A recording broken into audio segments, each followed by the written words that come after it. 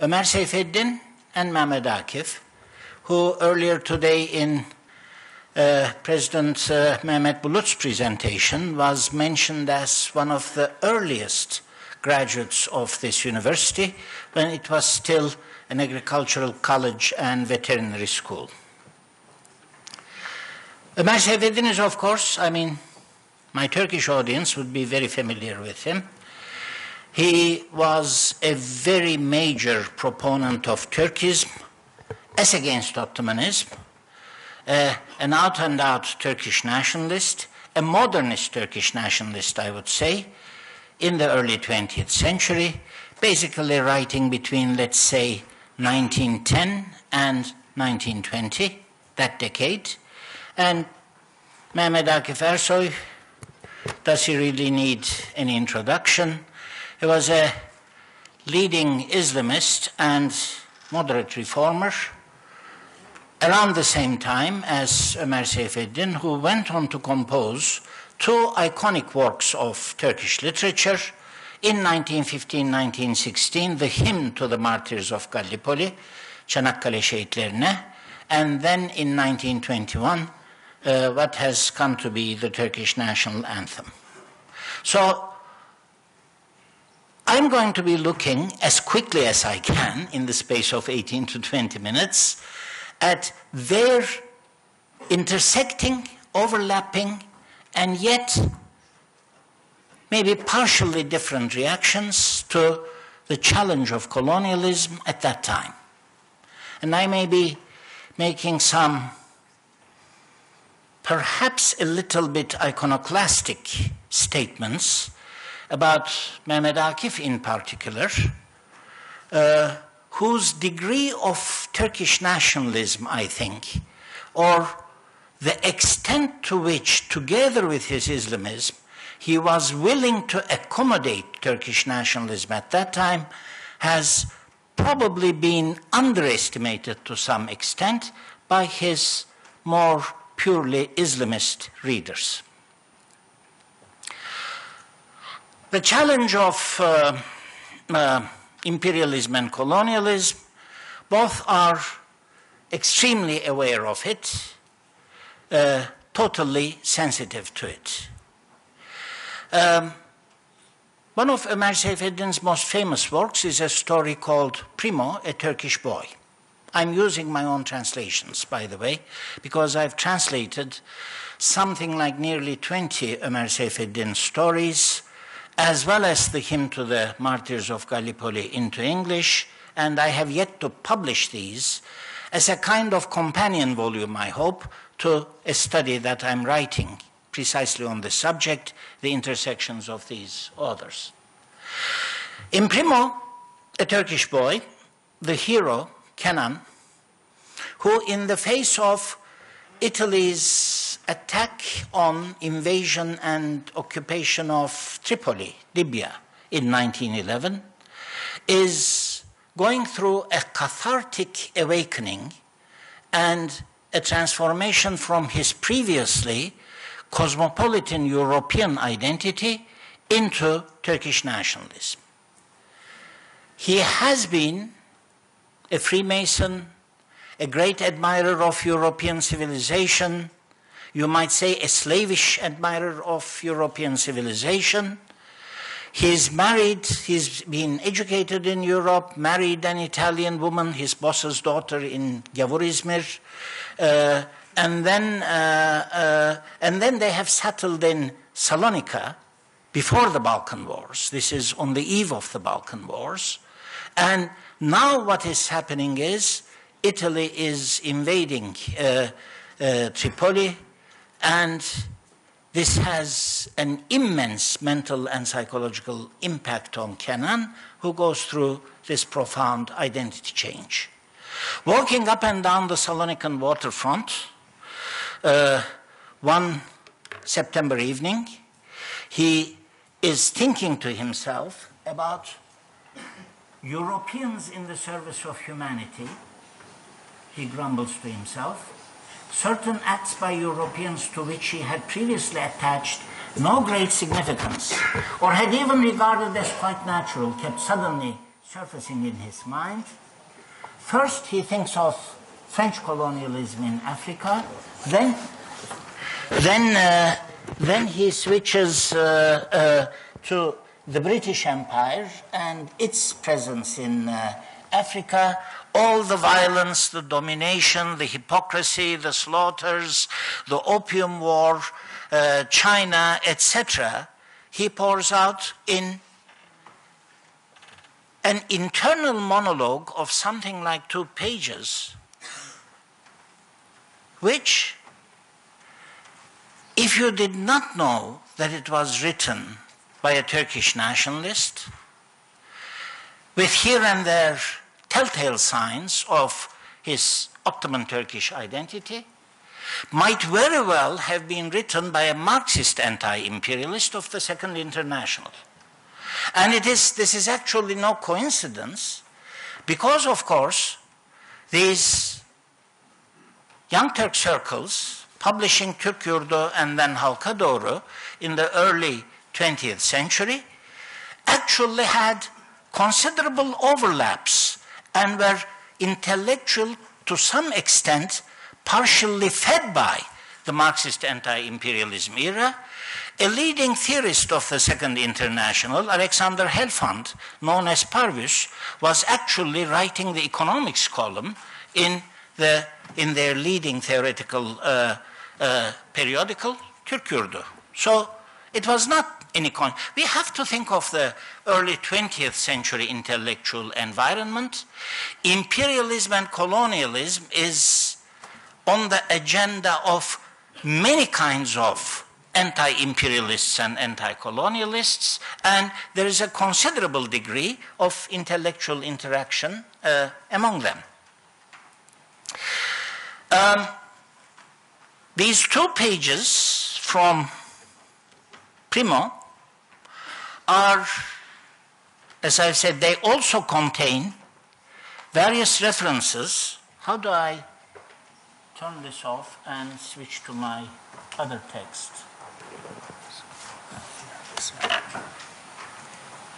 I'm sorry. But I mean, uh, no, this is, this is still the same story. How, I, how do I get out of this text entirely? Can anybody technical help me? I, I, I, want to, I want to switch to another text. Hocam yakınlaştıralım mı? Hı? Yakınlaştıralım mı? E, bunu kapatalım. Sonra niye açmak istiyoruz? Bunu kapatalım, bir başka metne geçeceğim. Yine bu dosyanın içerisinde. Another file. Yes. Another file. Hayır, bundan çıkmak istiyorum. Tamam. Right. I want to switch to.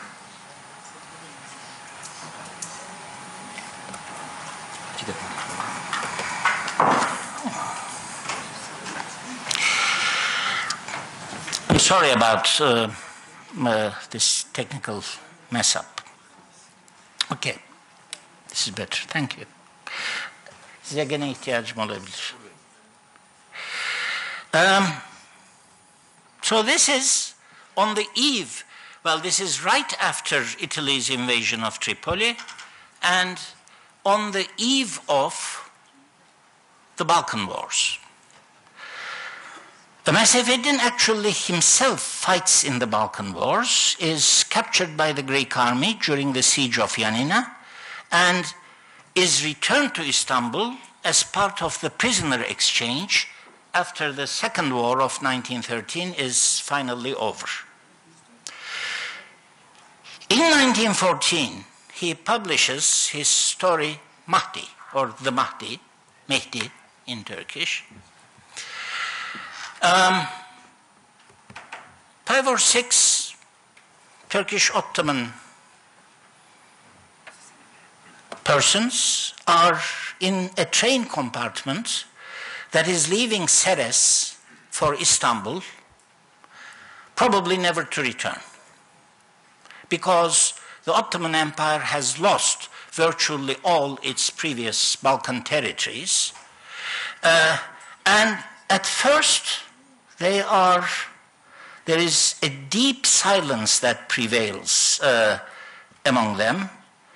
Uh, it is a kind of stony, sorrowful, sorrowing silence that Ömer Seyfeddin says prevails among all peoples of the Muslim lands at that time. And a little time passes and they enter into conversation.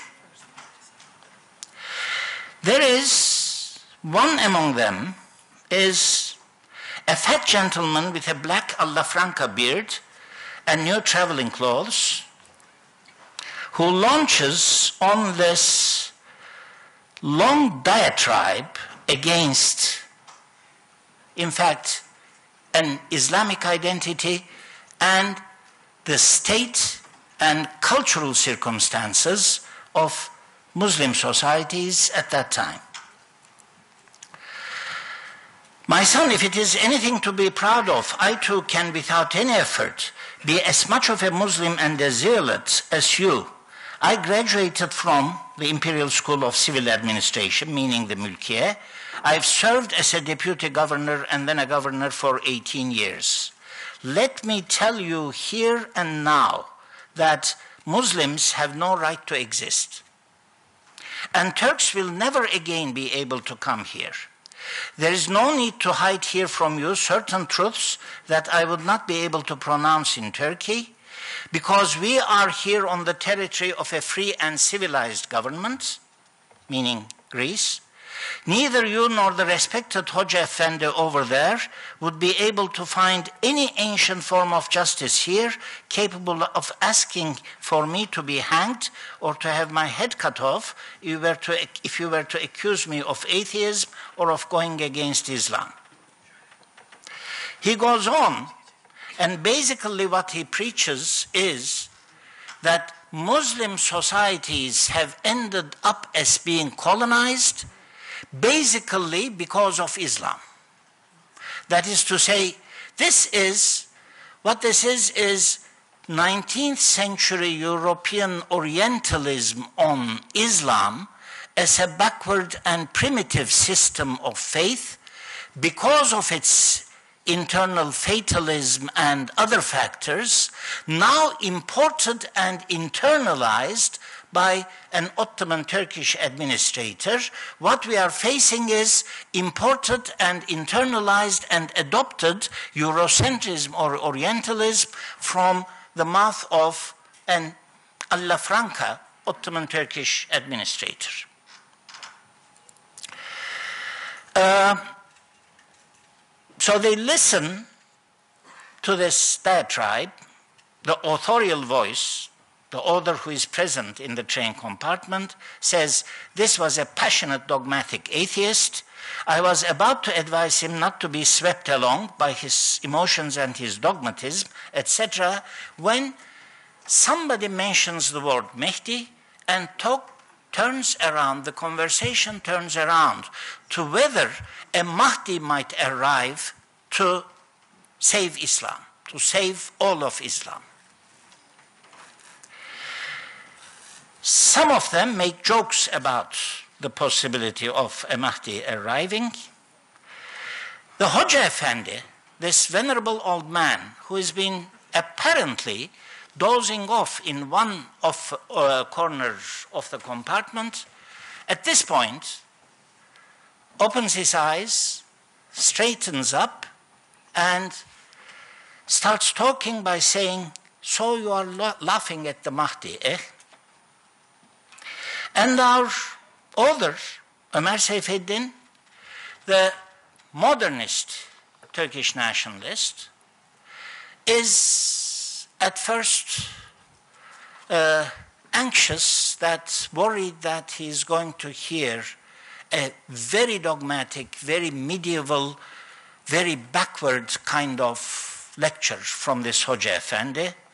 I turned my head to the window in order not to have to hear the absurd idiocies that this senile fanatic, inclined to proving through science that the earth was flat, resting like a tray on the horns of an ox, that was itself standing on a fish, would be spewing forth on the question of the Mahdi. Here we have, what we have here is unionist anti Islamism. A classic expression of the Ittihadist, the Unionist uh, anti Islamism. All Islam, all advocates of Islam are taken to be backward, fatalistic, ignorant, uh, sunken medieval scholasticism, etc., precisely on the same lines as the fat gentleman that has spoken previously. But it turns out that the Hoca Efendi has something very, very different to say. I've probably overstepped my time already, but what the Hoca Efendi says is this. There is never going to be a single Mahdi for all of Islam. Instead, just as the Quran puts it, to each people will be sent a guide. Each nation in this world of nations will receive its own guide and find its own liberator. Against imperialism and colonialism, different nations have to wage their own fight, guided by their own Mahdis.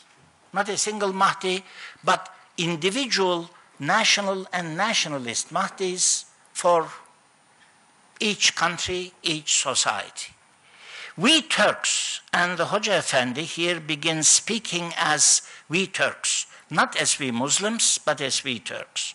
We Turks must wage our, our own fight against imperialism and colonialism in conformity with our uh, national circumstances, conditions, and constraints, and only and only when all Islamic nations and societies have succeeded in liberating themselves in this way, will we be then able to start speaking, perhaps, of an Islamic international confronting a Christian international?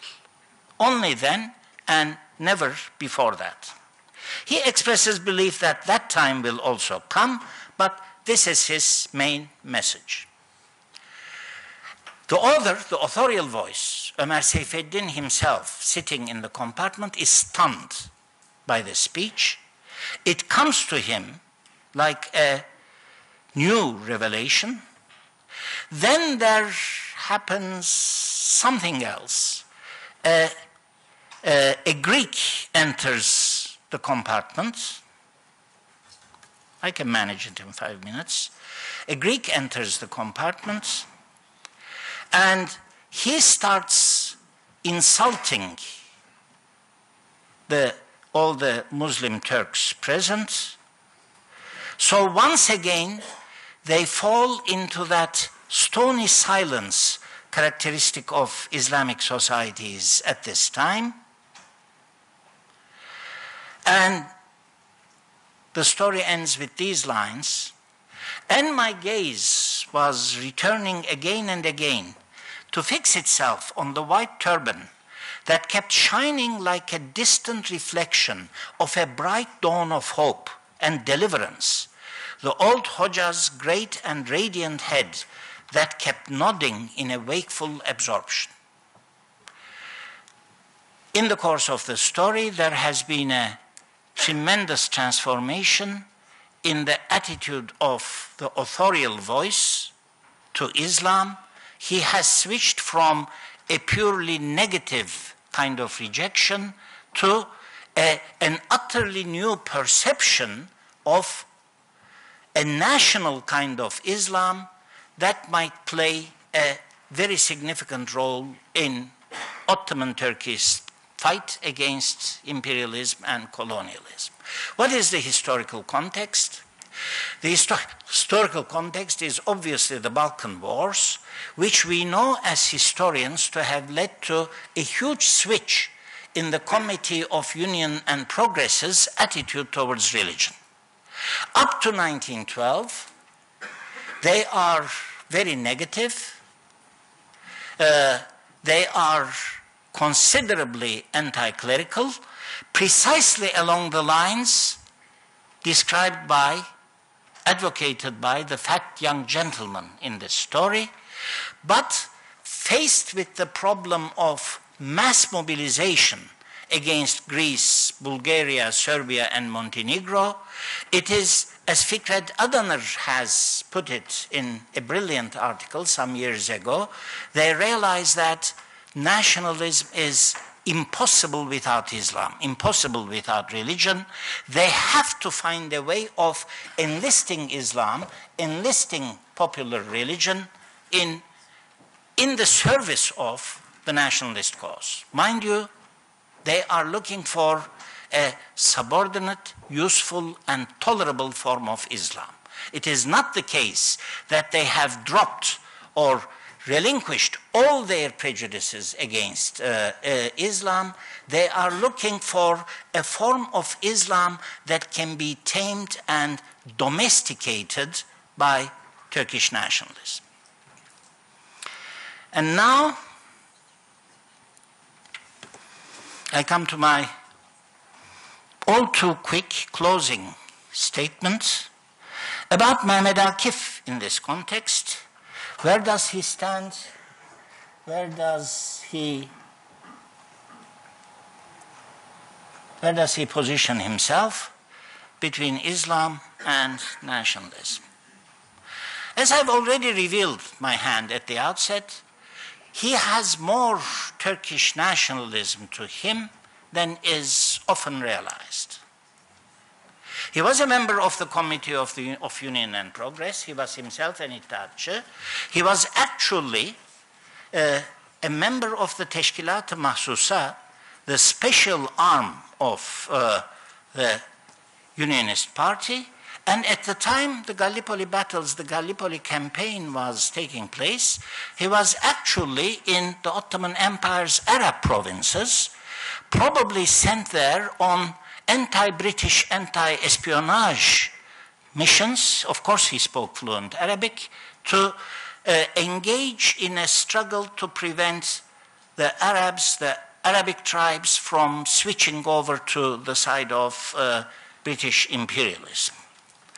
So he was politically very, very engaged with the Unionist Party. Earlier, he had been in opposition to Abdul Hamid II as an autocrat. And against him, he had sided with the Young Turks, and this is where the affinity comes from. He returns from the Arab provinces, and he is given a tour of the Gallipoli battlefields, and then he sits down to write his great hymn to the martyrs of Gallipoli. He never once uses the word Turk. Neither does he in the Turkish national anthem, for, for that matter. The word Turk or Turkish Turkish language, the Turks, etc., these are never mentioned, but there are subtle hints that he is, in fact, speaking about Turkey's Muslims and nobody else. When he says, for example, in the national anthem, my heroic race, he cannot possibly be Kahraman ırkım in Turkish, my heroic race. He cannot possibly be referring to the entire Islamic Ummah as his heroic race very clearly he is referring to a Turkey rooted Turkish and yet Muslim ethnicity. When he says, ben ezelden beridir hür yaşadım, hür yaşarım, I have lived in uh, freedom and continue to live in freedom from time immemorial, again, he cannot possibly be referring to the entire Islamic Ummah. Very clearly, he is referring to Ottoman Turkey, which has never been colonized, while all other Islamic countries or states are in a colonial situation at this time. So, freedom here is actually freedom from colonialism. So, without ever using the word Turk, he finds all kinds of ways to subtly define himself as Turkish. And I come to my conclusion.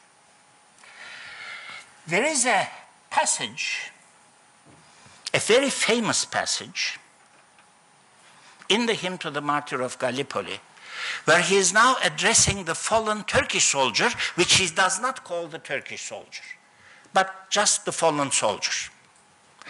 And he dreams up all kinds of things that he could do to sacralize this fallen soldier's memory, which again he does not name in ethnic terms. But there are some crucial lines. Such is your greatness that your blood saves God's unity. Ne büyüksün ki kanın kurtarıyor tevhidi.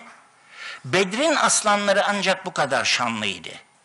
The heroes, the lions of the Battle of Bedr in the Prophet's times, could have been only this glorious. And then comes a more emphatic statement. He is saying, if I could do this, if I could do this to your tomb, to your grave, your tombstone, it wouldn't suffice, it would not be enough. And in the process, he says, if I were to place the Kaaba as your tombstone, and he goes on to say, he goes on to add various other specul- uh, uh, superlatives, even then, I wouldn't have done anything to perpetuate your memory. Now, what is this? Is this just rhetoric? Is this just poetic exaggeration? The Kaaba is a symbol of the supreme symbol of universal Islam, of the Islamic Ummah. And he is actually saying, if I were to take the Kaaba, if I were to bring it here, and if I were to place it at the head of your grave, even then I wouldn't have done enough to commemorate your memory. For generations, students have been perhaps thinking these lines without reflecting on it enough. Here, there is a certain overlap between nationalism and Islam that is for the first time being formulated in this way in Mehmed Akif's poetry. In effect, you could say that in response to Ömer Seyfeddin's kind of challenge, he is coming up with the idea of an Islam in alliance with and willing to share the same political objectives as Turkish nationalism. Thank you for your patience. Thank you, Dr. Berktay. You raised important uh, points that hopefully we'll pick up on them uh, during discussion. Uh, our second speaker is Dr. Massad, Dr. Joseph Massad, and the title of his speech is Liberalism versus Liberation, the Arab World at Present. Dr. Massad. May I turn this off? Good afternoon, everyone. It's a great pleasure to be here. Thank you to CIGA and to Dr. Al-Arian for inviting me and including me um, in this important uh, conference. Both liberation and liberalism derive from the words liberty and freedom. But in the colonial and post colonial Arab world, as elsewhere, the two terms have had varied histories, goals, and achievements. Indeed, one could divide their intellectual, cultural, political, and economic effects between the periods immediately following independence in the 1940s through the mid to late 1970s and the period between the 1980s and the present.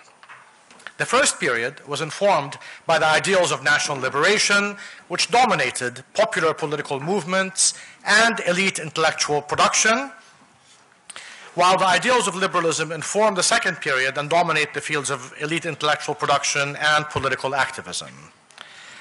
Are these two ideologies mutually exclusive? Are they compatible or combinable with one another? Or, as their histories seem to reveal, are they inimical and adversarial to one another? I will attempt to delineate these differences in what follows and then attempt to clarify the shifts that they have made in the lives of the peoples of the region. During the 1950s through the 1970s, Arab intellectuals and political movements supported the project of liberation and colonialism, from colonialism and the achievement not only of political but also of economic independence. The language of national liberation became the rallying cry of recently decolonizing regimes, spearheaded by President Jamal Abdel Nasser of Egypt, but extending to Syria and Iraq and overtaking even conservative regimes in Tunisia and Jordan, and anti colonial movements extending from Algeria to Palestine to Oman and the rest of the Gulf region and reaching the Western Sahara. The goal of economic democracy viewed as partial redistribution of wealth and state-led development aimed at closing the income gap and ending poverty was always paramount during this period. However, gradually, following the 1967 war and increasingly by the mid to late 1970s, the principles of national liberation were de-legitimized in favor of a new language characterized by liberalism and what was often called ideological pragmatism wherein national liberation came to be depicted as idealistic and that it had brought about political, economic, military, and human disasters and defeats rather than progress and political democracy across the Arab world. Liberalism, in contrast, promised and promises to bring about personal freedom, regional peace, and individual prosperity as well as, they tell us, political democracy, viewed through the lens of free elections of the legislative and executive branches. Liberalism dismisses economic democracy as contrary to the neoliberal freeing of opportunities for personal enrichment, even if some liberal critiques uh, even if some liberals critique the excesses of neoliberal economics and seek to mitigate their effects. Liberalism has become so popular that not only formerly leftist Arab regimes, erstwhile leftist intellectuals, and left political movements adopted it, but even erstwhile liberation movements like the PLO did as well. If the Project for National Liberation believed in popular plebiscitary political democracy as the companion to economic democracy, Liberalism insists on electoral political democracy that can ensure economic dictatorship insofar as the market should dictate economic policy and not the people or the state institutions representing them. The National Liberationist commitment to political and economic projects based on the principles of national liberation was not unique to the Arab world.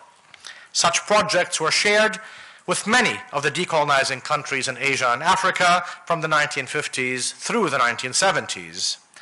Neither was the adoption of the values of Western liberalism, which begins to dominate the Arab world in the late 1970s onwards, an isolated phenomenon, but one, one that was also shared across Asia, Africa, and Latin America, let alone Eastern Europe after 1990. The concept of independence had become the most important notion in the colonial world, including in the Arab world since World War I, and in some cases since the late 19th century, especially in the case of Egypt. In addition to independence, the notion of liberation, whose current use is more recent, defined the struggles, both material and rhetorical, of the colonies during World War I and in European countries fighting Nazi occupation in the course of World War II, and yet again of the colonized in Asia and Africa fighting against European colonial occupation during and after World War II, many of whose movements came to adopt the term liberation in their very names. The two notions of independence and national liberation were advanced to end all aspects of colonialism, political, economic, and cultural, and began to be articulated in increasingly global terms at the United Nations. They had become part of the anti colonial zeitgeist and would reach their apogee in the many United Nations resolutions and debates that raged in the corridors of the UN in the 1960s the adoption by the United Nations General Assembly of Resolution 1514 in December 1960, titled Granting of Independence to Colonial Countries and Peoples, was a watershed event. Indeed, the resolution became possible as a result of the Asian African Conference at Bandung in the mid 50s. In 1966, the UN's adoption of the International Covenant on Civil and Political Rights and the International Covenant on Economic, Social, and Cultural Rights crowned these important achievements. The advent of economic independence would be advanced by what came to be articulated as Arab socialism in Egypt, but also in Algeria, Syria, and Iraq of the 1960s and 70s. The convening of the Afro-Asian Conference at Bandung in the mid-50s and of the non-aligned movement soon after, followed in the mid-60s by the Tricontinental Conference in Cuba, globalized this quest against colonial and neo-colonial powers. The project in the Arab context would lead to an attempt at unity and federations between Arab countries, attempts that were also ongoing between sub-Saharan African countries led by Ghana's Nkrumah and the recently decolonizing Caribbean nations of the West Indies as well.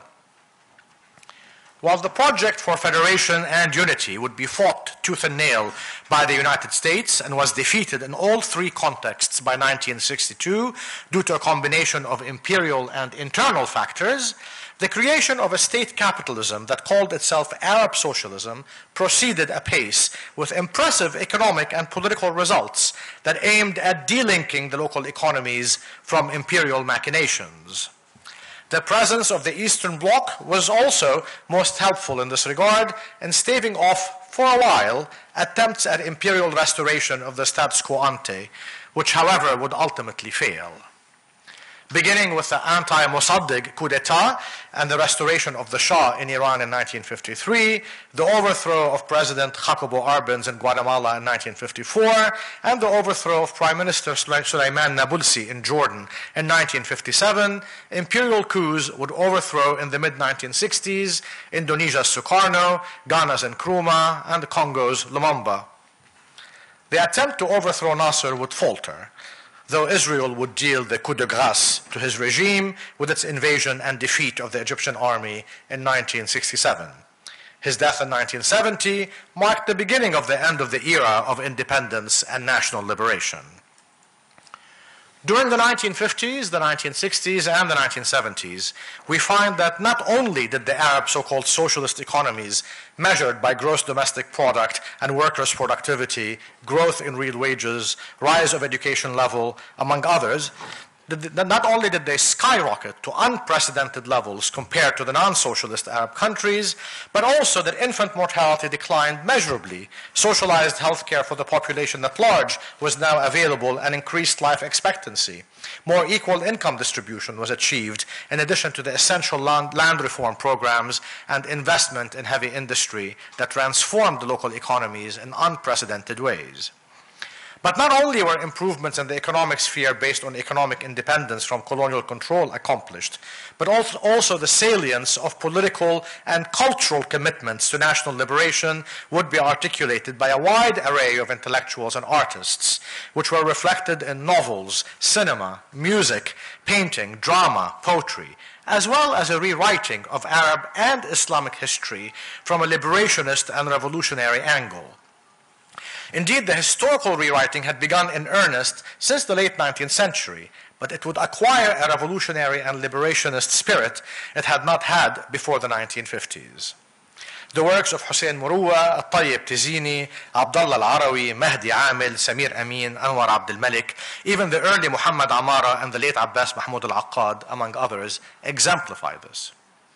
Concerned with political and economic independence, intellectuals were also interested in presenting an Arab and Islamic history liberated from colonial Orientalism. The alliance between the post-independence armies with the class of professionals, technocrats, small capital holders, and small landowners in places like Egypt, Syria, and Iraq would be, despite many limitations, as critics have shown since, a productive one in terms of defining national liberation as independence from colonial, political, and economic control and cultural diktat. These achievements were made despite the ongoing imperialist threat and the situation of war with Israel, which resulted in large military budgets, but not at the expense of sacrificing liberationist goals. With the rise of neoliberalism in the 1970s and its consolidation in the 1980s onwards, all this would change economically, but also politically and culturally. The change would begin in Egypt and coincide with the country's simultaneous surrender to imperial, to imperial, sponsorship economically and politically. That the Camp David Accords would be the document that formalized this transformation was hardly coincidental.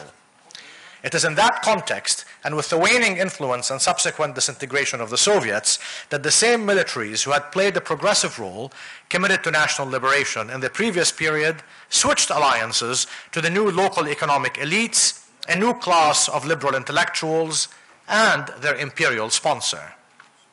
The Western, Israeli, and Saudi war against Egyptian President Jamal Abdel Nasser and anti imperialist Arab socialism and nationalism required the birth of a new liberal intelligentsia.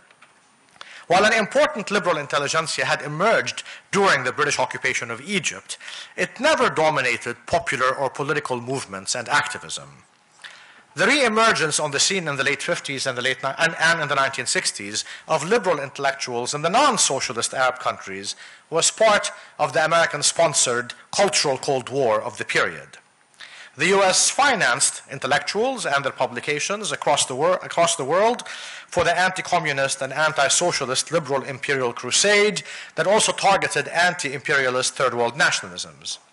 This was part and parcel of the Eisenhower Doctrine, which the Americans inaugurated in 1957 to, to, intervene militarily and in every other way in the Middle East to safeguard it, allegedly, against the Soviet Union. These intellectuals and their publications exalted the virtues of the liberal West against Soviet and non Soviet forms of communism and socialism and attacked Nasserist Arab nationalism. In the post 1967 war period, this liberal class of intellectuals expanded but was initially confined to the Egyptian Sadatist intelligentsia, whose main aim was to combat Nasserism in both its socialist and its nationalist aspects, and to promote capitalist neoliberalism manifest through Sadat's economic policy of infitah and pro Americanism in foreign policy. As the new century dawned, the Egyptian example became widely generalized across the entire Arab world. The 1970s Egyptian liberals, allied with the neo- neoliberal Sadat regime, sang the praises of American power and imperialist capitalist penetration of their country and pushed for full surrender to Israel under the banner of peace. They insisted that Israel should be forgiven all its sins and that allying Egypt with Israel and the US would bring about economic and political benefits to Egyptians. The argument had it that the state of war with Israel is what drained state resources, while peace would bring about a profitable dividend that would enrich all Egyptians. The Egyptian Muslim Brothers, whose liberal transformation and disavowal of violence in the 1970s allowed them a seat at the Sadatist table, joined the political contest on the side of the liberal secularists against the Nasserist political and economic legacy and in favor of neoliberal capitalism. While the Sadatist liberals were initially condemned and excommunicated across the Arab world, their and the, the, regime's alliance with the US and Israel would bring not prosperity, but enormous poverty to most Egyptians and destroy whatever achievements in education and healthcare and personal income the pre liberal Nasserist order had achieved. The only thing that increased and became more advanced in this liberal supported neoliberal Egypt was increased impoverishment of millions of Egyptians who lost even the possibility of an economic future, except for the hundreds of thousands initially, later upwards of 4 million Egyptians whose employment was subcontracted to neighboring countries in Libya, Jordan, Iraq, and the Gulf states, while tens of millions of Egyptians languished at home in dire poverty economic prosperity did come to a small business class and to, to the intelligentsia with which they were allied.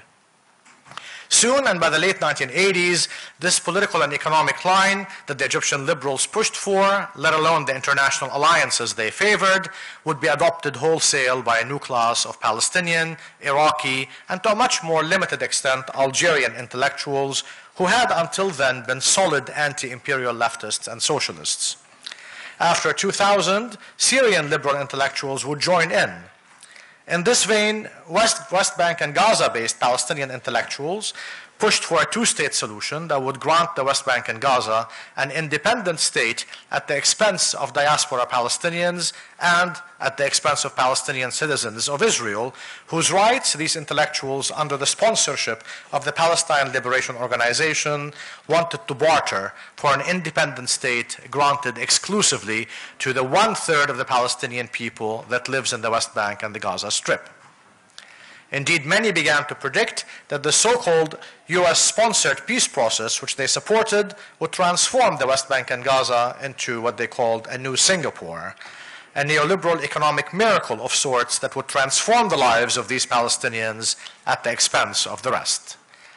Once the PLO adopted this line of thinking fully, Palestinian liberal intellectuals became advisors, consultants, negotiators, and ministers in the Palestinian Authority and its business class partners, and brought about more massive poverty across the West Bank and Gaza, the erosion of international support for Palestinian rights, and multiplied the forces of repression of the Palestinians by adding the Palestinian Authority security forces to the Israeli occupation army. This has led to the squandering of Palestinian political and economic achievements during the first Palestinian uprising or intifada. Simultaneous with the rise of this liberal intellectual class among Palestinians, the 1990 Iraqi invasion of Kuwait unleashed a new class of Iraqi liberals who were allied with American imperial geostrategic interests and who immediately called, in the name of democracy and the end of dictatorship, for an imperial invasion of Iraq, which cost the lives and livelihoods of untold millions and destroyed the entire country while enriching this class of comprador intellectuals and the new and old business classes they serve. Indeed, many of them went into the service or into service for the US occupation of the country and the ensuing sectarian regime it established. Iraqi liberals were the first Arab liberals to call openly for an imperial invasion of their country, though after the so called Arab Spring, Syrian liberals, secularists, and Islamists alike would call on NATO to also invade their country to end the Assad dictatorship, which had already instituted neoliberal reforms that resulted in the impoverishment of the Syrian countryside. In addition to the decline in all the economic indicators that showed huge imperial, or rather showed huge improvements under Arab socialism, the new era of neoliberalism reversed all these indicators drastically, including the achievement in education and healthcare, but also in terms of real wages and workers' productivity and GDP, all of which declined between the early 1980s and the present. The new class of Arab liberal intellectuals continued to speak of pragmatism and liberalism as the ideological goals and to rewrite the Arab socialist experience as a political dictatorship that only led to failure. If national liberation in the socialist period concerned itself with the questions of economic development, eliminating poverty, reducing income disparities, anchoring collective identities in a progressive vision of, of history, the new liberalism would articulate its goals in terms of individual, not collective identities, individual political rights, not collective economic rights, and in condemning the history of the past and re- reinterpreting it as a liberal failure rather than as something that could be mobilized for a progressive future. The military defeats at the hands of Israel and the lack of liberal political rights and the active political repression of the opposition during the socialist period were now depicted not as failures of political strategy and planning and juxtaposed to the expansion of economic rights and economic development, but rather as cultural failures for which an anti-democratic, an anti-democratic Arab culture or even an anti-democratic Islam itself was to blame as famously put by someone like Sadiq Jalal al-Azm. In contrast, Islamist liberal thinkers explained the political repression of regime opponents and the defeat of 1967 as resulting from the distance taken from Islam rather than from proximity to it, as the liberals had argued. Both secular and Islamist liberals insisted on the cultural factor as the causative one that led to the military defeat, excluding the major imperial war against third world leftist regimes unleashed during that period. In the case of Egypt, secular and Islamist liberals had opposed Nasser's land reform programs early on in the 1950s and his later socialist measures. Nasser's tenure, as became the case with the Ba'ath rule in Syria and Iraq and the FLN rule in Algeria, their Nasser's tenure and achievement was now reduced in liberal rhetoric to nothing more than the denial of liberal political rights to secular and Islamist liberals and to communists and royalists, which of course the regime did repress. To be sure, the new secular liberal intelligentsia and liberal and human rights advocates came to be linked economically to the myriad non-governmental organizations funded by the US and the EU, the, the, European Union, with Islamist liberal intellectuals linked to organizations that were privately funded by businessmen or by this or that Gulf country. These foreign funded secular non governmental associations advancing a liberal rights agenda and the foreign funded non governmental charitable Islamist service organizations that stepped in to replace the declining and, contra- and contracting state sector, which had been defunded under neoliberalism, constitute today the new local civil society. The new liberal era has done away with the erstwhile vocabulary and goals of national liberation and began to articulate the agendas of individual rights and political democracy that the human rights industry, which had arisen in the US and Europe in the 1970s, has been pushing. Intellectuals from across the Arab world joined the effort, abandoning old leftist, communist, Nasserist, and Islamist positions that supported national liberation and adopted the much more profitable pro US and pro Israel liberal line politically and the neoliberal economic order being globalized.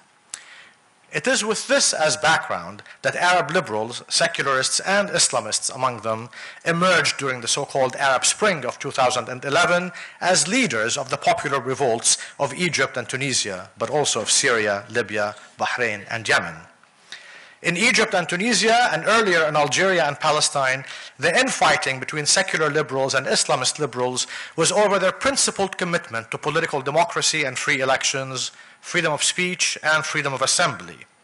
While the Islamists proved their serious commitments in word and deed once they won elections in Palestine, Egypt, and Tunisia, the secular liberals abandoned their commitment to free elections and free speech and freedom of assembly the moment the Islamists won the elections, as happened in Algeria, in the West Bank, and in Egypt. In the telling case of Tunisia, the liberal Islamists, mainly a Nahda party, and secularists infighting amongst themselves brought about a modus operandi that led to the partial restoration of the Ancien regime.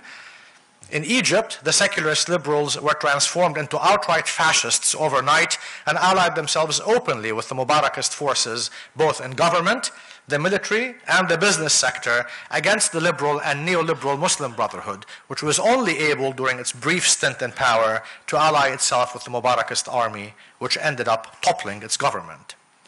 They argued, this is the secular liberals, they argued tireless, tirelessly and still argue that supporting a military coup against the elected and liberal Muslim Brotherhood and the massive massacres that the coup authorities committed, that these were the epitome of liberalism and the restoration of a liberal order. Unlike the national liberationists who delivered on their promises of free universal education and health care, partial redistribution of wealth to close the economic gap, increased productivity, and increased GDP, the neoliberal regimes that the liberal intellectuals and activists supported or helped bring about have closed down political democracy, spread corruption, and reversed all the economic achievements of the previous regimes. Indeed, the infighting between secular and Islamist liberals has not been over questions of economic democracy, the right to education and free healthcare, or redistribution of wealth, but rather about political power in the service of neoliberal economics and over cultural policies.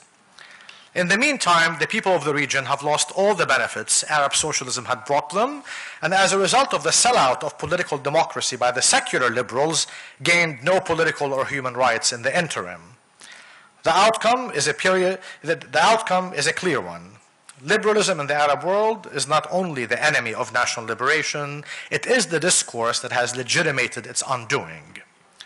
While national liberation under Arab socialism had freed people from economic dictatorship, poverty, illiteracy, and disease, the new neoliberal regimes and their liberal intelligentsia have freed the Arab people only from Arab socialism and its commitment to national liberation.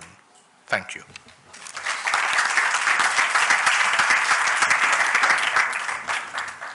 Thank you, Dr. Massad. Our final speaker for tonight is Dr. Farid Esack, and his title is Muslim Societies and Modernity, the Struggle for Liberation and Pluralism. Dr. Esack.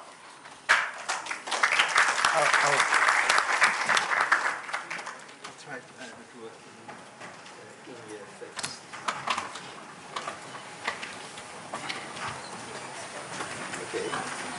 Good luck so far. Perfect. Shukran, shakur. Uh, Assalamu alaikum, everybody. Good evening. Um, it's quite uh, an achievement to be delivering a coherent talk uh, within uh, 20 minutes. I congratulate the other two speakers for delivering uh, coherent talks. Um, I'm not saying anything about them having stuck to or not stuck to their 20 minutes. So if I'm going to be sticking to my 20 minutes, um, I'm afraid I would have to sacrifice some part of the coherence. I'll run through a couple of quick politenesses. I'm very pleased to be here. Nice to be in Turkey. Thanks for inviting me. Um, there are a number of colleagues that I'm very happy to see. I see Dr. Nader Hashemi here. Uh, um, I'm not going to go through all. I see Bruce and Miriam there. And then there's an old uh, worker, co-worker of mine. He's looking other side now. Uh, Junaid Ahmed uh, in the audience. So I'm, I'm delighted to be here. I'm delighted to be with lots of old friends and new friends. I had a great meeting up with uh, other colleagues uh, late last night. Um, I'm meant to be speaking on Muslim societies and modernity, the struggle for liberation and religious pluralism. I worked through and rushed through my paper. I'm afraid, people, um, I can't get to the religious pluralism part. Uh, but you will see where the discourse on religious pluralism fits into what I am saying. My presentation is, has a specific location.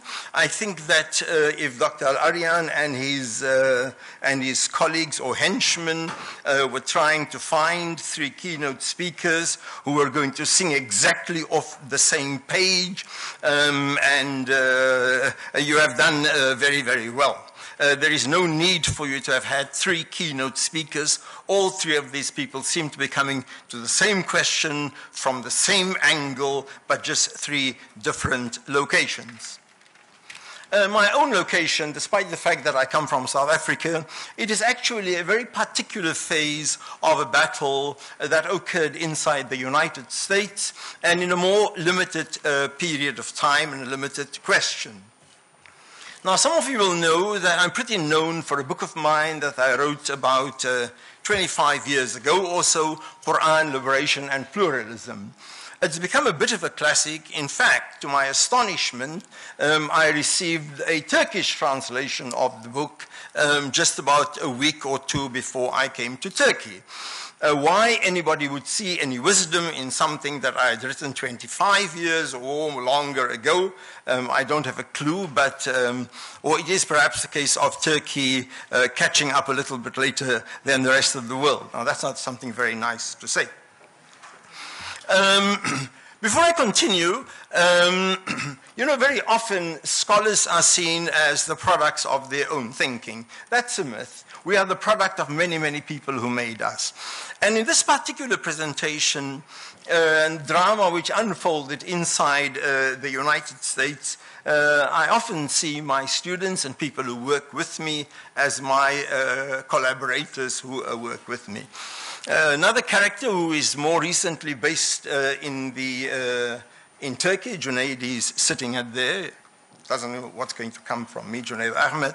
Um, he was one of the people who collaborated with me uh, in my thinking on this. It was well after I'd written Quran, Liberation and Pluralism, but the intersection between those ideas and the contemporary discourses on post-coloniality, um, contemporary readings that were happening in the two-third world and so on, uh, contributed an enormous amount to shifting of my own ideas from a narrow-based Islamic liberation theology to an embrace of other currents uh, uh, in, at that time, post-colonial theory and integrating that into my work. And of course, it enriched my own work uh, enormously. Um, so not only did it enrich my own work, but also in the introduction to a number of scholars whom I am citing here today. Um, so, uh, so this is this book, and uh, Joseph uh, Massad, Professor Massad, you've made the point, you know, on the distinction between liberalism and liberation. I've countless times been introduced as the author of Quran, liberalism, and pluralism. Um, I had a colleague in the United States uh, who taught this work for no less than five courses, and she still spoke about Quran, liberalism, and uh, pluralism.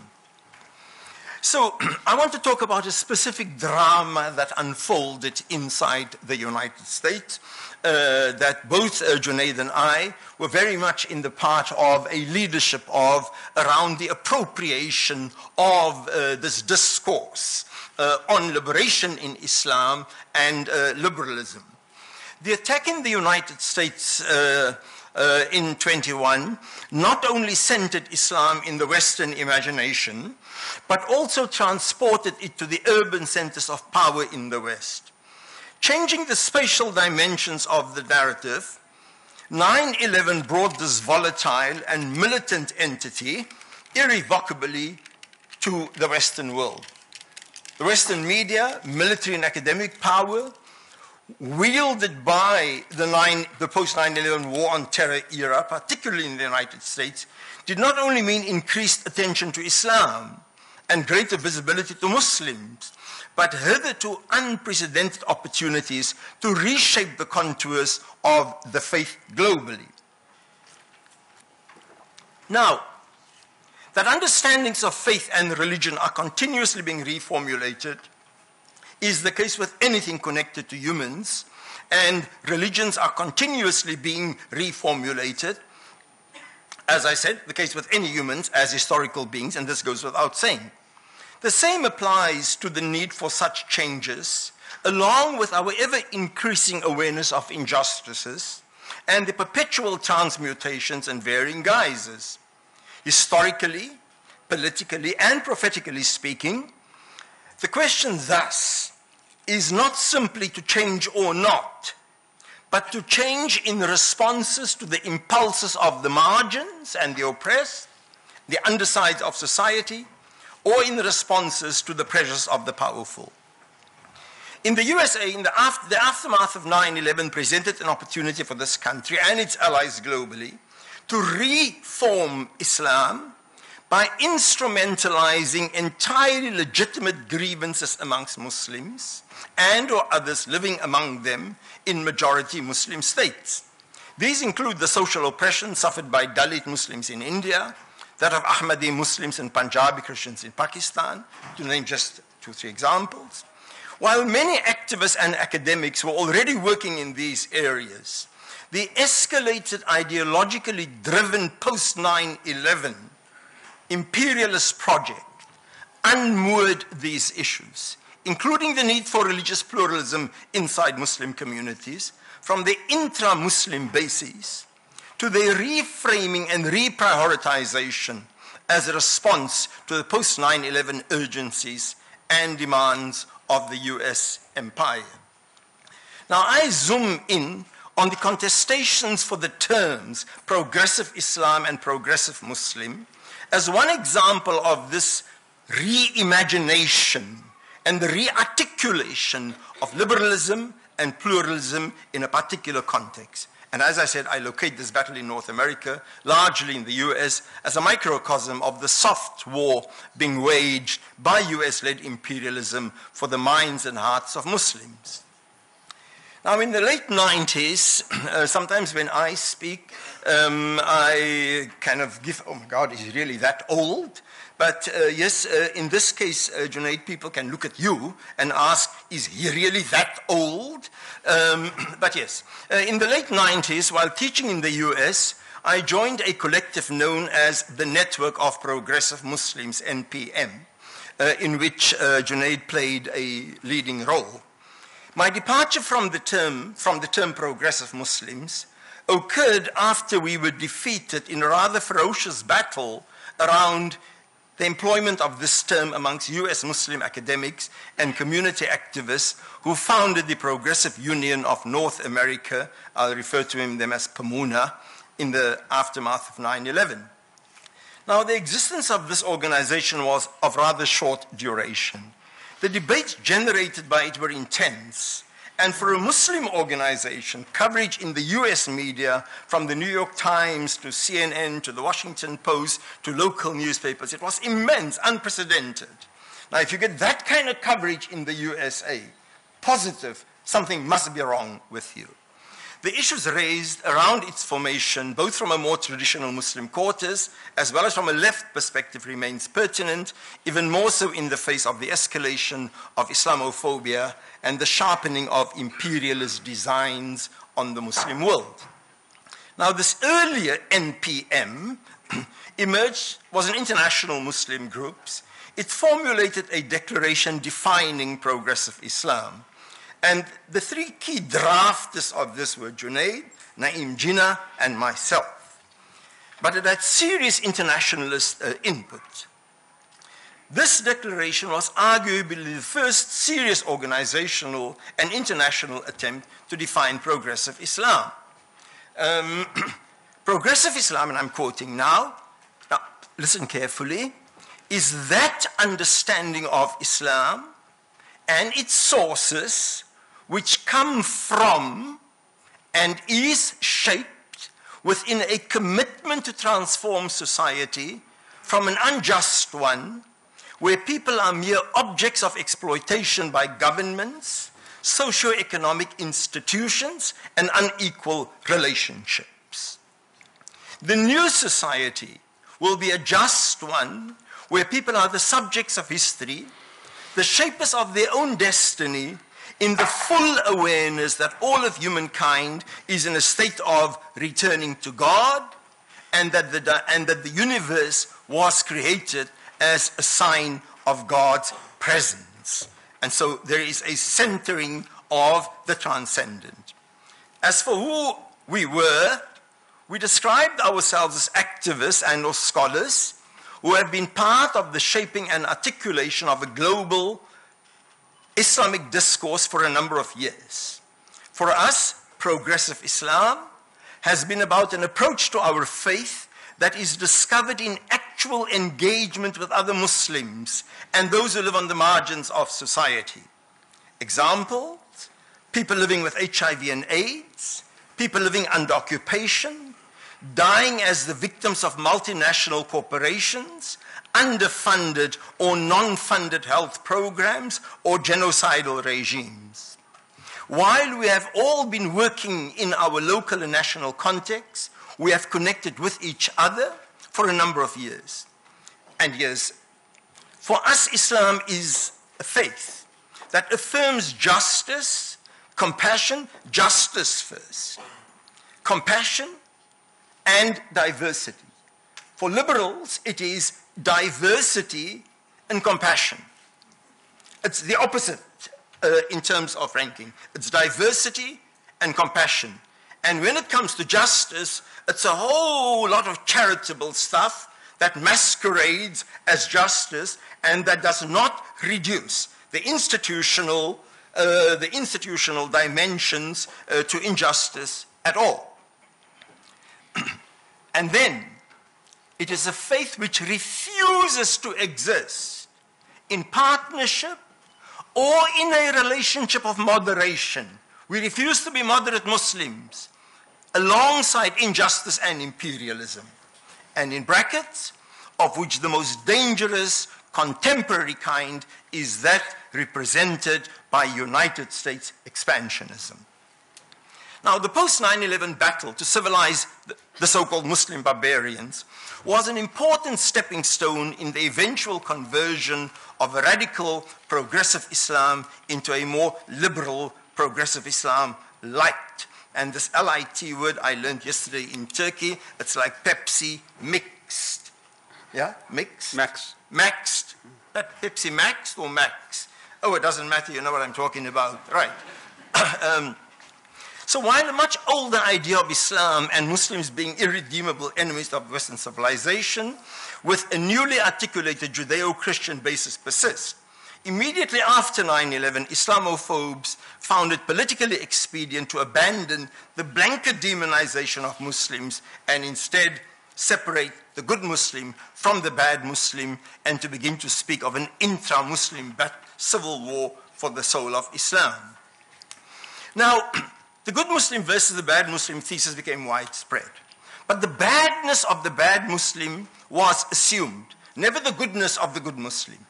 The goodness of the, the good Muslim was never to be liberated from the obligation to A, tirelessly prove his or her goodness, and by interminable denunciations, whenever any bad Muslim struck anywhere in the Western world, he had to offer ceaseless declarations of loyalty to Western interests and values. The real soul of Islam, true Islam, was now synonymized with Western values. And in the US, it was not infrequent that one heard the, op the uh, opinion expressed by the new Muslim moderates that properly considered, the message of the Quran or the Sharia is identical to that of the US Constitution. So soon after 9 11, this project of creating the good and bad Muslim, the term progressive Muslim became, began to acquire a cuddliness to it. Um, Junaid, in fact, received a telephone call from uh, Condoleezza Rice's office, by no standards of the imagination, a progressive entity, received a call from Condoleezza Rice's office asking to meet with me when he expressed his, uh, uh, why would she want to meet with him? The response was, well, like, isn't he like a, a progressive Muslim? So by now, a progressive Muslim meant essentially two things.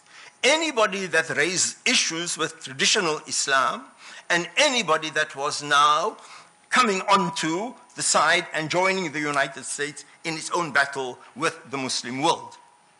So this commencement of this project began to acquire a cuddliness to it.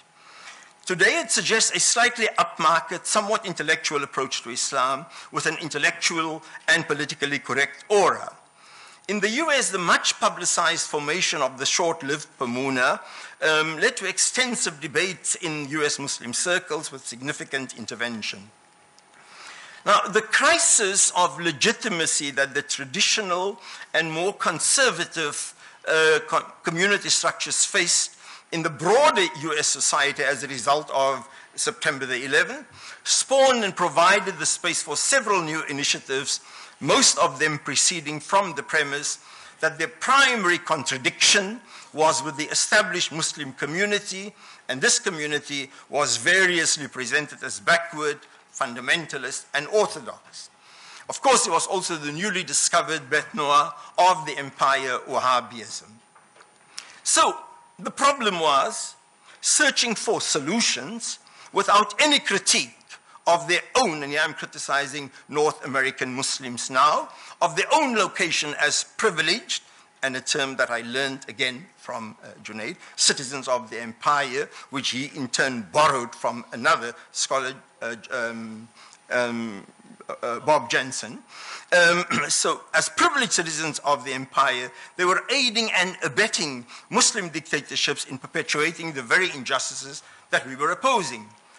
And secondly, the inability to recognize how the prioritization of reforming Islam and taking on the Muslim community in the absence of a struggle against imperialism and neocolonialism was effectively playing into the hegemonizing project of the global north and stripping Islam of all of its value as a faith connected both to a revolutionary social project on the one hand and on the other hand umbilically connected to a tradition, to sacred texts and an accountability to a transcendent. i will have to skip now. I've seen the note, uh, Chairperson. Um, so such an Islam is constructed as a manageable set of definitions that can be instrumentally deployed as ideology. Islam as ideology derives less from the lived experience of the believers and is preoccupied with molding a highly utilitarian, pseudo religious project. In such ideology, use value always trumps transcendence. Islam as ideology and Islam as faith are not mutually exclusive. They are like two axes on which the state can be plotted.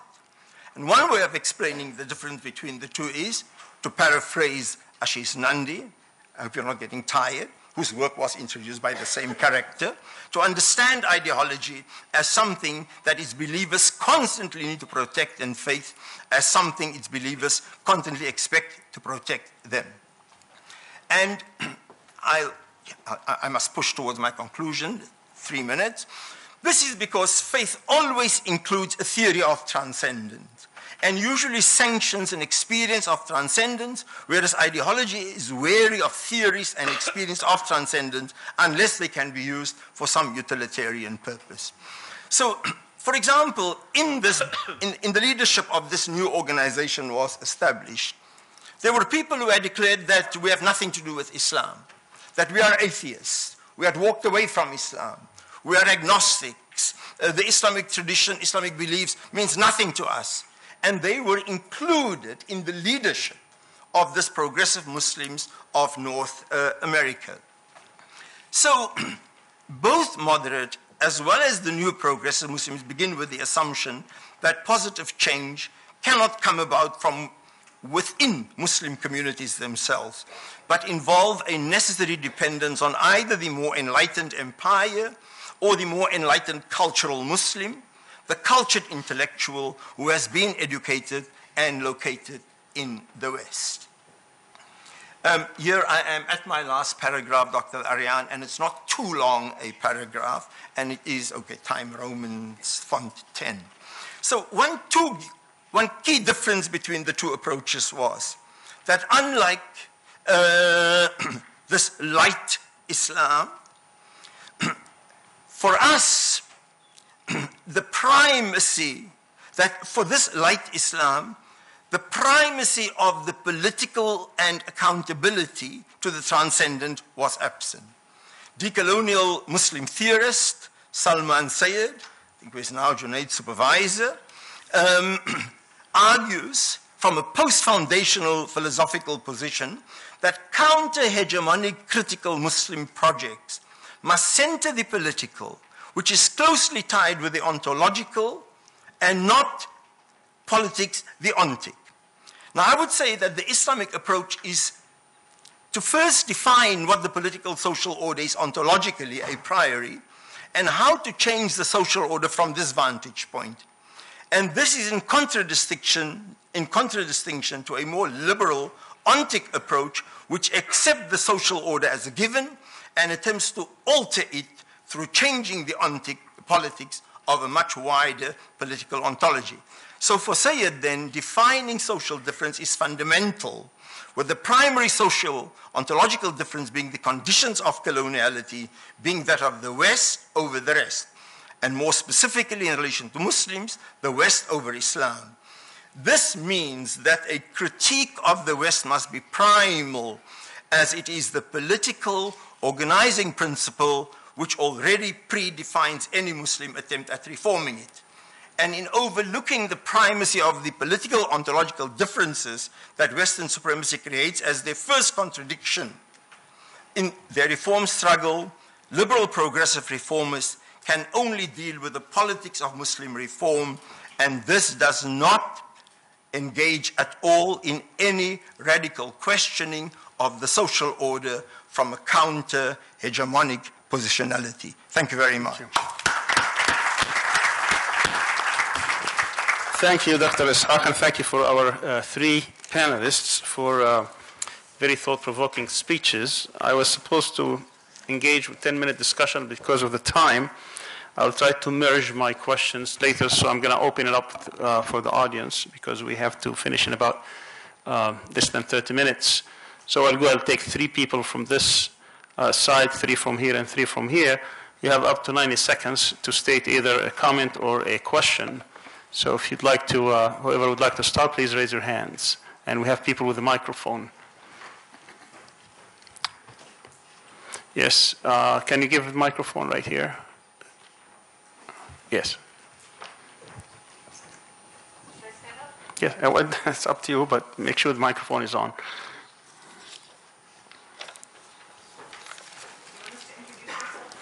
If you like, please. My name is Ilhan It's not on. Can you have the microphone on, please?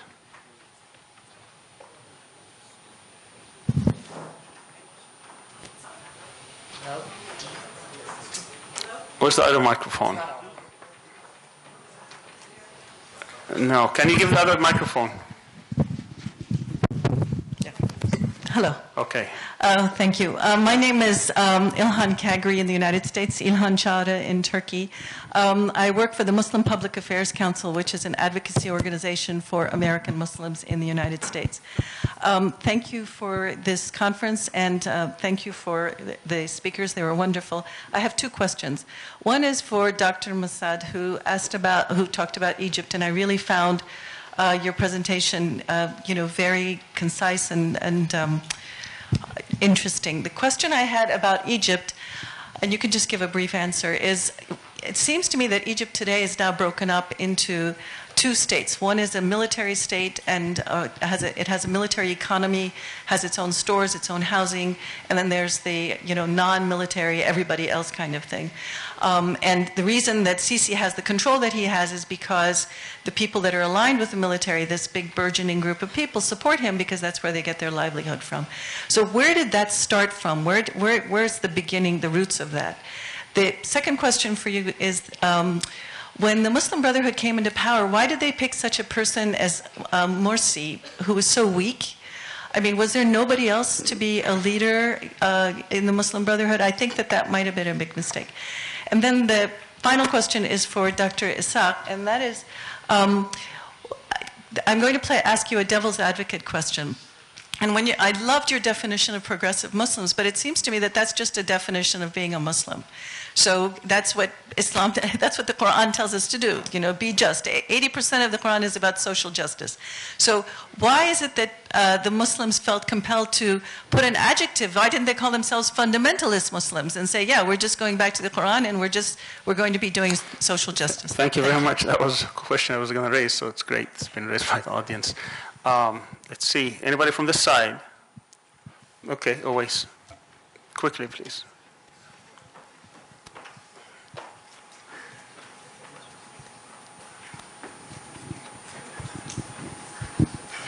Uh, my, name, my name is Awais Khan. Uh, thank you for the panelists for your brilliant insights. Uh, my question was that uh, it seems like from the two earlier talks uh, by Professor Massad and Professor Berktay, that Islamists face a very specific challenge, which is what to do about nationalism and what to do about liberalism. Because it seems like both of these challenges aren't adequately responded, to, haven't been, there hasn't been an adequate response by Islamism, so, or Islamists. My question is, is that, is that a challenge that only Islamists face, or is that a challenge that generally all political actors in the field face? Or is there some kind of very specific uh, uh, fault of Islamist actors on those two major questions? Thank you. Thank you. The side? Anybody on that side? Okay, let me switch on this side. Okay, Luay. I think that was brilliant presentations for the three of you. Enjoyed very much. Um, I'm going to address my question to Professor uh, Massad, although probably the implication for the others, I didn't want to have three questions. Because it seems to me that um, you had a 3,000 feet view of the dynamics of the region. And I would like to get the clarification from you because it seems to me that you were either denying that there were some cultural issues that at stake in terms of why these Arab societies have been suffering the, the, the, the, the, fate that they have been suffering. Um, you seem to um, sort to feel comfortable with this um, um, Nasser regime and the early socialist regime, as you said, the, the um, he called I, I like the, the, the, the, you know, the description. These are state capitalist regimes, which is probably a better, you know, a better description. But, but then, you know, uh, it seems to me that you, you, you looked at the, that period as a good period and then what came after it as something has nothing to do with it. As if that the, the missteps of Nasser himself or uh, whoever ruled Syria or other Arab countries. Um, of course, Syria ruled by generals. Every two years there was a, a, a coup d'etat, as you know. But there was social issues, there were cultural issues, and I think they remain the, the, the, the, puzzle. I mean, the, most important central part of the puzzle. So what would you say about that? I mean, don't you think that there's a need to undertake this cultural reformation, which, clear. which without, without that, nothing could happen on the surface? Okay, Shinar, Thank you. Is it on? Well, I speak. S- Speak loud, yeah. So my question is also to uh, Professor uh, Assad.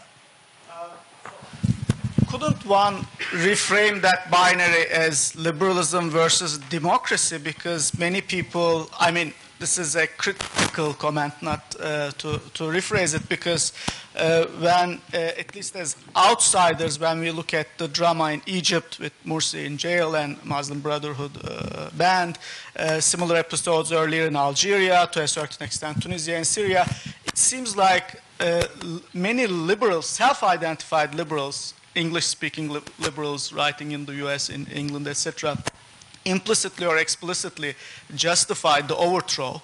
So the bigger chasm doesn't, again, correct me if I'm wrong, but uh, seems more like Western liberals, but also the very Arab socialists that uh, you have spoken fondly about on the one side in favor of some sort of minority rule, whether it is Arab socialism or Western liberalism, versus a larger, you know, political organizations and masses who favor electoral democracy. So you said, so isn't, I mean, the, the current situation more liberalism versus even the most basic level of electoral democracy as opposed to the, is, was this unclear?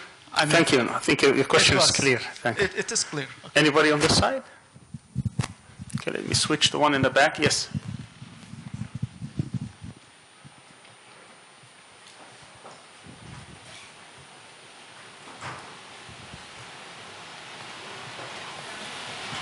It's not on.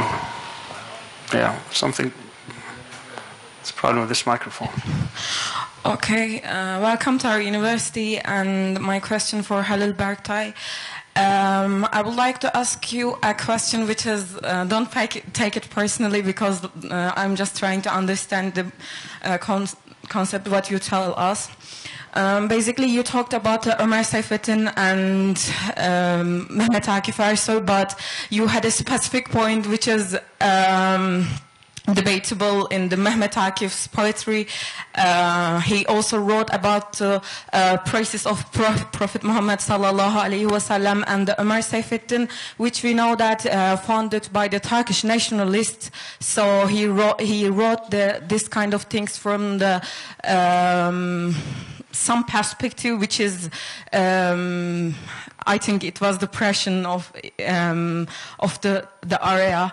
Uh, we know as well. The Namık Kemal Ziya uh, of the, the any other Turkish nationalist, they wrote from the government. So, like, uh, can we just um, how can we um, judge them from the specific example? Because also we know that uh, we cannot judge the poetry or the novelist from the uh, their um, their books because like uh, if, if I give an example from the Ismet Özel uh, of not being a Jew, he says that um, this is the Turkish Yahudi değilsem bile bende Yahudalık yok mu? Kime öptüm de kurtuldu çarmıha çakılmaktan. So can we say that uh, is he uh, supporting the Jewish or he is feeling that he is Jewish, which is um, which is is Islamic writer, Islamic poet.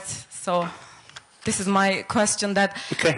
isn't it uh, saying, uh, giving the example uh, of specific example unfair for the understanding them? Like, it seemed a bit unfair point because like we have to show the the big picture, like because we have plenty of scholars in here. Thank you very much. Okay, we got two Thank more. you. Am I missing anybody? Are there any hands up? Okay, let me add my two cents here uh, for Dr. Berktay. Uh, if we want to project what you said to uh, what we have today at present, do we have Turkish identities or or, or an identity that can, because people say that what shapes Turkish identity is Ottomanism, nationalism, Turkish nationalism, Islamism. Do we have that all three together, or do we have it identities where we have some sort of a conflict um, uh, today? And for for uh, Dr. Uh, Massad, you know, regarding the accomplishments and achievements of Arab national, uh, Arab socialism, at least during the Nasser era, uh, with all the achievements that you, you cited, uh, could that be sacrificed, or the, could that, is that when, when people talk about the repression that these regimes have, have imposed on, on big segments and great segments of society. And when people try to talk about freedom and democracy, these are not necessarily liberal values because when people want like express themselves and live where they can have a part of decision making so how you can reconcile uh, these two in light of the arab spring obviously you know a lot of people would agree with you in terms of the economic models that some of the people who have risen against these, these regimes that these were not uh, models that could actually uh, be more of a popular, this more of the elites. And finally, for the Dr. Uh, Isaac, Ishaq, this is about the progressives. Why did we have, I mean, somebody asked that, why do we have to use that adjective? But also, in light of the uh, RAND report, you know, where they would talk about secular, you know, the, these to for Muslims, progressive, conservative, Salafists, and which is part really of an imperialist project. And they said we can't turn Muslims into secularists, but perhaps we need to, to champion progressives. And that's how I understand Condoleezza Rice's phone call to Junaid. You know, they were trying to latch into this particular uh, progressive Muslims where they can uh, uh, put aside what is called traditional uh, teachings of Islam. Uh, but, you know, in terms of putting justice as the central theme, is certainly something that has not been, unfortunately, to many Muslim movements, but at the same time, you don't want to replace that with what is traditional about Islam. So perhaps you can address issues. What I have now is basically four minutes for each speaker, and then we'll conclude. Dr. Berktay.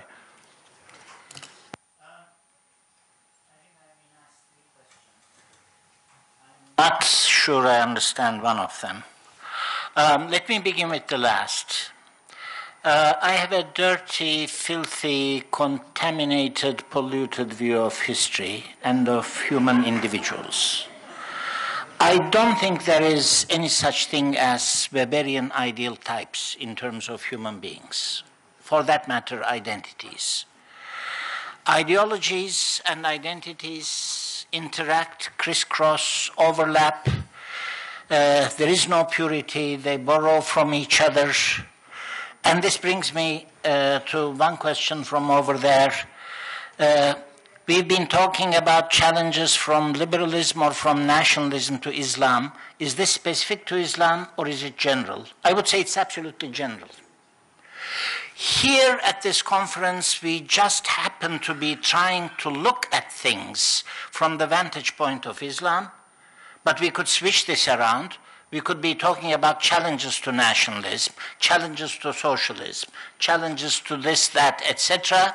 And then from a different vantage point, we would be witnessing the same overlaps, the same compromises, the same attempts to subordinate, to assimilate, etc.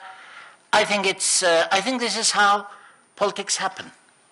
Uh, with regard to Turkey at present, are there does Turkish identity, is it a melange, is it a hybrid of all three, or are there three distinct identities?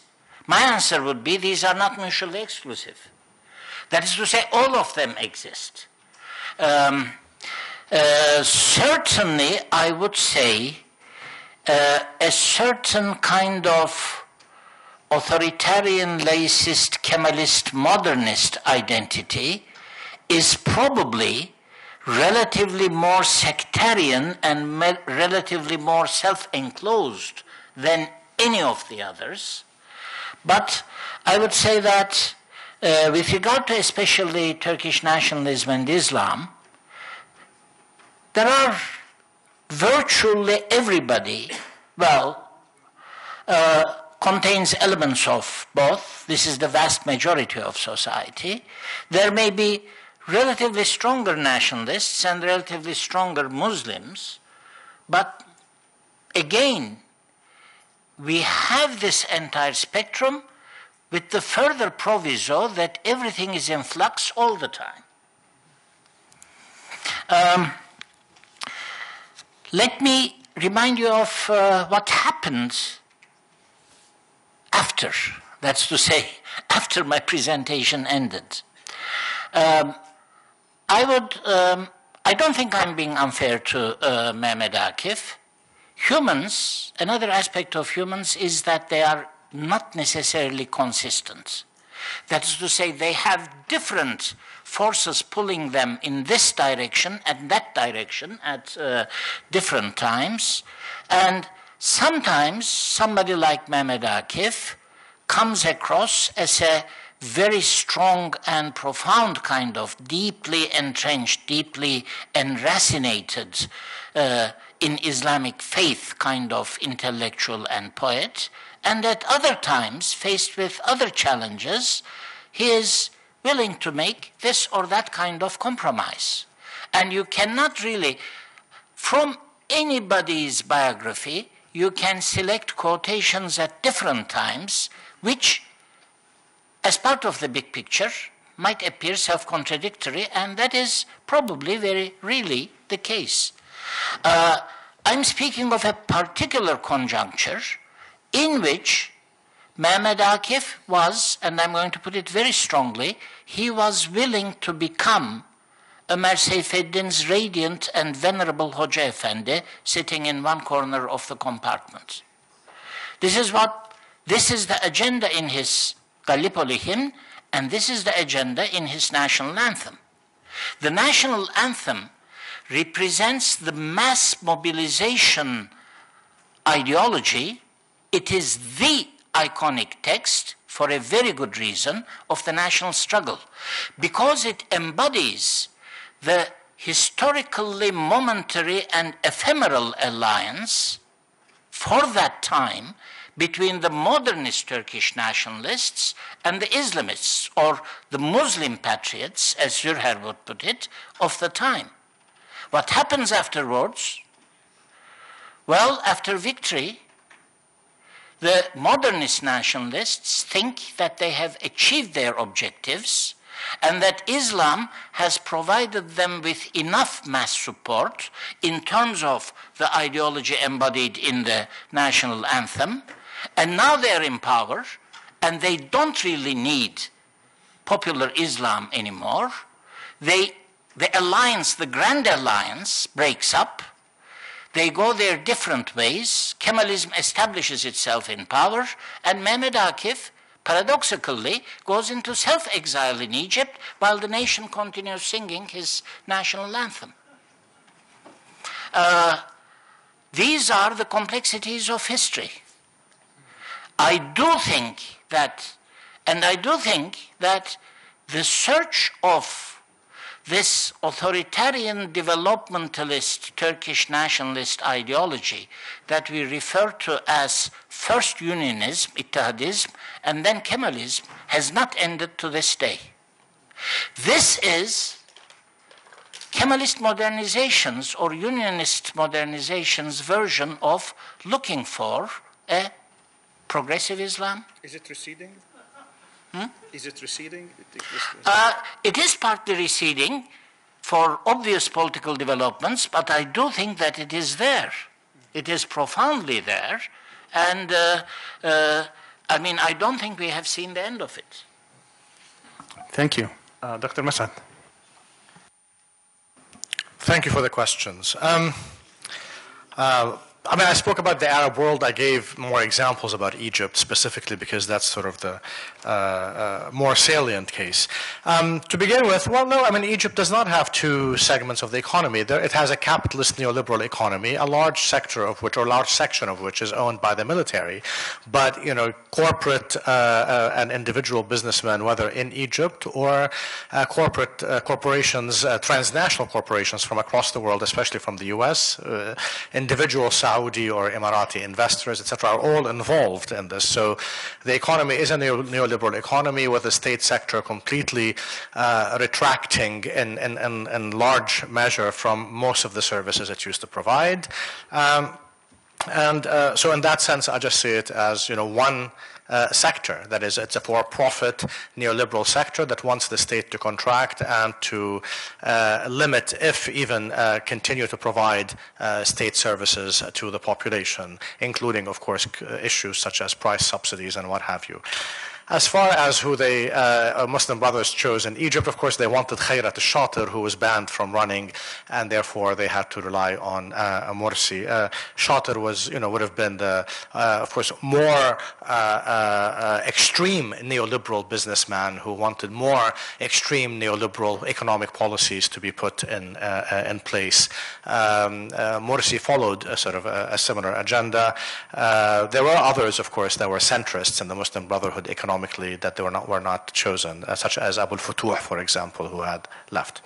Um, the liberalism is a challenge to uh, uh, sort of Muslims and different forms of Islamists as it is elsewhere. As I've tried to say, that basically, just like the discourse of national liberation was not only an Arab or Muslim one, but what it was a global one in the colonized world, also liberalism and neoliberalism are sort of the new de rigueur ideologies across Africa, Latin America, and Asia. So they're not only limited to Muslims and Islam uh, uh, in that sense. but, but of course, the challenge remains that what you, what you have today as a, as a political discourse that is hegemonic across uh, the Muslim world, but specifically, of course, in the Arab world, but you see this in Africa and in Latin America. But in the Muslim world, you have two kinds, basically, either the secular liberals who support neoliberalism or the Islam Islamist liberals. These are the more uh, dominant discourses within the different uh, uh, wings of Islamist movements and secularist movements, I think, in, in, in both cases. The question of the cultural issues, um, no. I mean, the thing is, there is a historic change. Before 1967, much of the analysis of the problems of the, the, colonial world, especially also in the Arab world and the Muslim world, were always phrased in economic developmental terms, right? Suddenly, after 1967, um, secular and even formerly socialist uh, intellectuals began to articulate this as a culturalist aspect, either being too Muslim, and either Islam would have liberated us and the Arabs have ruined Islam, or Islam itself is the problem. And this is the reason why the socialist experiments actually failed. I mean, the, the, the famous book by Sadiq Jalal al-Azm uh, uh, on uh, uh, النقد الذاتي Al-Hazima" or auto-critique after uh, the defeat, which I usually dub self-hatred after the critique, or "Kurhdazati Bad Al-Hazima," is mostly articulated in the sense that it's Arab Christianity and Arab Islam that have been the problem. Um, and that have, in fact, uh, been the bane of the existence of Arab socialism and explain its failure. No, I don't think they were cultural issues, in the sense that what is defined as culture is uh, a problem here. The, the, the, uh, I mean, this has a 19th century history, a European history. Um, I wrote a book called uh, uh, uh, Desiring Arabs, where I try to show that much of what Arab intellectual production has been since the 19th century is, in fact, autocritique, constantly self-flagellation, that all all the so-called failures of the Arab world in terms of development, economic achievement, or so-called political democracy can be attributed to Arab culture or Islam. So, and this is of course what the Arab liberals today, the secular liberals, insist on doing, saying, let us factor out imperial ventures, let us factor out the role of Israel in the region. Everything should be blamed on the cultural question. The reason why today most Arab countries are not democratic is actually cultural, they tell us. That the reason why why they have not uh, developed economically is cultural. I think um, there's a history to where the cultural arguments came to be presented as the most important ones, which begins after 1967. The Islamist liberals, like the secular liberals, would, part would partake of this heavily and participate in this, even if the answers they provide are different than the ones that are provided by the secular liberals. But I do think um, I am less interested in. Um, uh, uh, uh, what cultural factors led to the defeat in 67 and more interested in historicizing the explanation itself of how it came to dominate our understanding of what happened um, in 67. Um, there was a question about um, uh, liberalism today versus democracy. Is that how I? Okay. Um, so the, the question of liberalism versus democracy. No, I think liberalism is always Western liberalism. And democracy is always coined as political democracy. I don't understand why economic democracy is not on the agenda. So for me, a lot of the people who believe in political democracy have no problem with economic dictatorship. I am interested in pursuing why economic democracy is not on the agenda uh, uh, today and only so-called political or electoral forms of democracy are presented. Uh, finally, the question of political repression under Arab socialism. No, no, of course, I am very bothered by it. The question for me is now the Arab socialist experiment, whatever that meant, between you know the 50s and the 80s, the early 80s, is presented only in terms of the political repression it had put uh, uh, uh, put out and it had uh, uh, sort of uh, committed. And this is the same kind of political repression that continues after it ended. So in that sense, what was positively achieved, which was economic development, uh, the elimination of poverty, education, etc., all of that has also been reversed, and political repression continues, right? Which is which gives more uh, uh, sort of uh, uh, uh, weight to the culturalist argument, saying, "See, when, you know, whenever things change in the Arab world, they actually don't. It's all about the lack of political democracy," which you know we can discuss separate. Thank you very much, Dr. Esack. I'll be. I'll try to be quick. first of all, the the question of adjectivizing uh, Islam, um, it's not a new problem, uh, really. Um, I mean, both uh, in, uh, in Aqidah, in Muslim dogmatics, and in fiqh, um, adding qualifiers has been pretty much uh, the standard. Whether these qualifiers were pejorative, say uh, the Khawarij, or say describing the, the Hanafis, أهل الرأي um, this has been uh, fairly common or, or more affirmatively the Ahl Sunnah wal Jama'ah. Uh, we are Sunni Muslims, so there's nothing unusual in the tradition of Islam. And then there has, of course, always been contestations, not always uh, takfir, but there's always been contestations about, you know, the things, the Hanafi, the Hanaf position versus the Hanabila, and, and, and. Um, uh, ideologically, I think that uh, in the 20th century, um, it often became in different kinds of political struggles more important for Muslims to also uh, define themselves. Uh, but be- just before I come to that, um, one of the virtues, and I'm not saying it should be an acceptable virtue, one of the virtues of actually uh, adjectivizing one's expression of Islam uh, is also a statement that uh, that this is not uh, the only kind of Islam. There is a certain kind of totalitarianism, I think, uh, that comes with uh, uh, this is my understanding of Islam, and my understanding of Islam is synonymous with Islam my approach to Islam, my, um, and then, you know, you end up with a pretty little uh, you and your little, you and you, your, your friends who are, so it leads to that uh, kind of logic. Very quickly, the genesis of this whole thing, I mean, there's been a large, uh, um, background uh, or genealogical uh, history to the use of progressive inside the Muslim world with various connotations. Uh, for us inside South Africa, and we had our own origins in the Islamic movement. Uh, that is uh, the Jamaat Islami and the and Ikhwan, um, and uh, we self-described as progressive Islamists. Um, by progressive, we indicated ours, because in the South African context, progressive was a part of the left, the broad international left.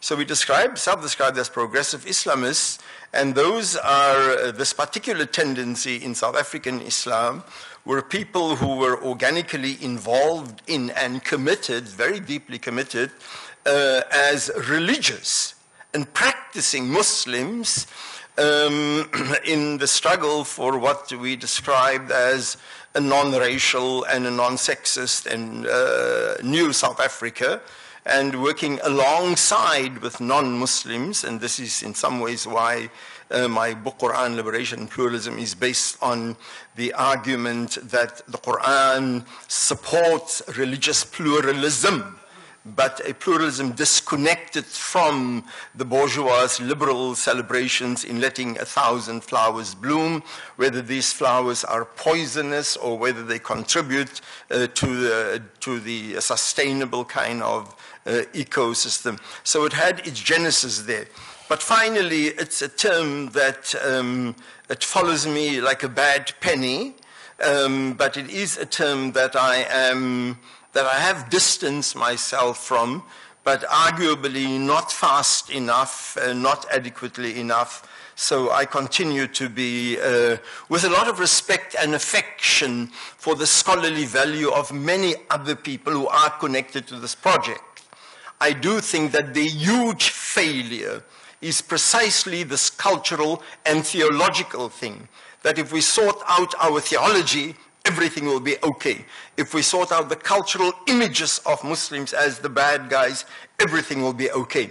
Another version or dimension to the same talk uh, that was delivered by uh, the colleague on my, on my left, but physical right. Professor Massad. Thank you. Thank you so much for all our three speakers for this enlightening discussion. As you know, this is only the beginning of the discussion. This discussion will go on for the next uh, two days. I also would like to acknowledge some of our guests in the audience, Dr. Bruce Lawrence and Dr. Miriam Cooke from Duke University. Dr. Monzer Kahf, who was here earlier, uh, obviously, he was connected to the Hamad bin Khalifa, and now he is part and parcel of our faculty here in the economics department and Islamic finance. Uh, uh, we also have Dr. Muhammad Makram and Dr. Nasuh Uslu, who's the vice president who just joined. We have Tariq Chering, and we have Fatih Ukumush, and we have delegations from the following countries. You know, we have delegations here in the conference from Algeria, India, Kashmir, Qatar, Kuwait, Palestine, Pakistan, and Malaysia. Thank you very much for being with us. Uh, after we conclude, you know, those people go and, and pray, but after that we have dinner. You know, the, our president here is hosting dinner for the speakers and for the special guests, which will be in the museum area. The hosts will, will walk you there, so please uh, join us for us. Before we conclude, we have uh, certificates, if you might.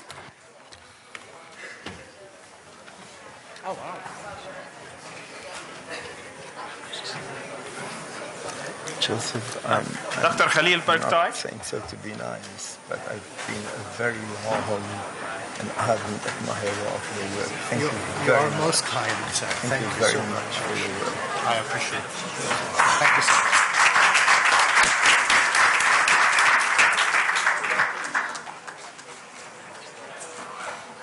I guess we have to. Yes, it's not something that I enjoy, but I still have to smile for it. Dr. Joseph Massad.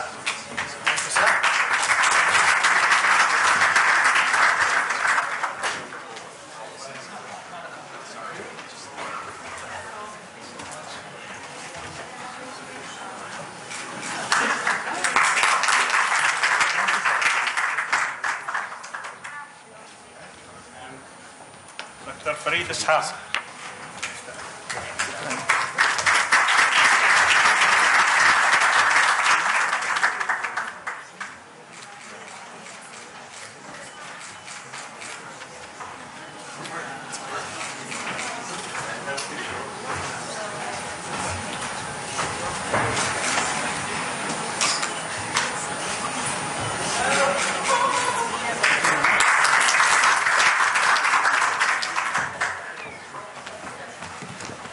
Our program will resume tomorrow, 9.30 in this hallway. Please be here on time. And our first panel will be the challenge of sectarianism. Thank you very much.